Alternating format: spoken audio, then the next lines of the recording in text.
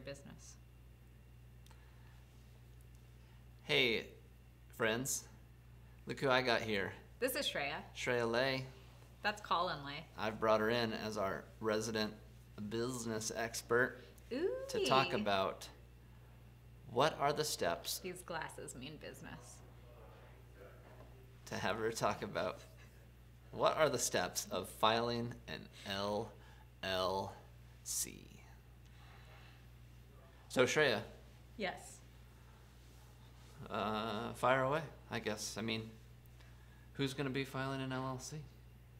A lot of people could be filing an LLC. People could be filing an LLC for themselves. Attorneys could be filing an LLC for you. Let's start with a little story first. Like what? I don't know. You I know, don't have a story about it. Oh, okay. Sorry that I messed it up. Huh? Well, I just don't. It's not a very story-filled topic. okay, I'll start. I can think of something. Okay.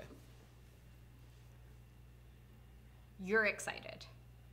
I you, am.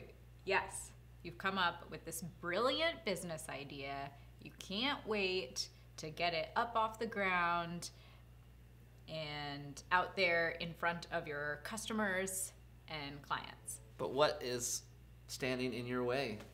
Thing standing in your way is that you need to file for your business name with the Secretary of State. Oftentimes, small business owners file as an LLC to begin with.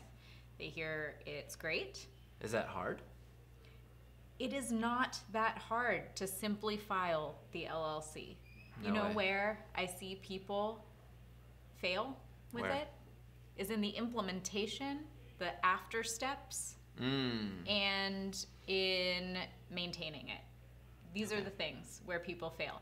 But filing the LLC is not that hard. You can go to your Secretary of State's website and follow the instructions that they have there.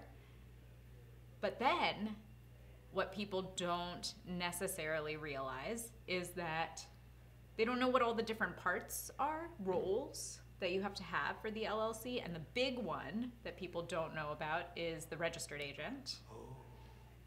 They don't know what that is. So they just put some name on there. Sometimes it's their brother spouse, or their- cousin. yeah, cousin, spouse, Yeah. themselves. Uh huh. These are the most common ones. And so they don't understand what a registered agent does. They may not realize that they have to, after that, file for a business license. Mm. They may not know the difference between their articles of incorporation and their operating agreement, and that they have to have an operating agreement a lot of times to start to open up their business bank account when all those customers and clients start pouring in to use your services and you need some place to deposit that money.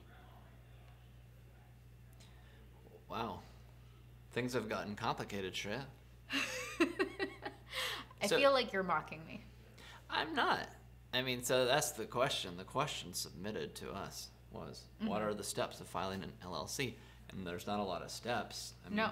To just filing it, that's just a file. Right. But there. But that just- is not the same as starting a business. Yeah, and that's just essentially one step Mm-hmm.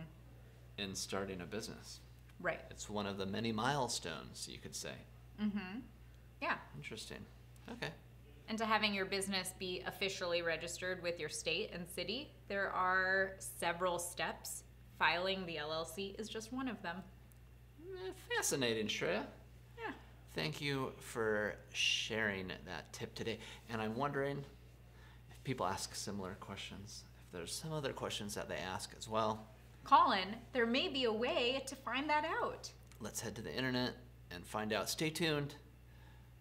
Possibly, unless the answers questions are really boring.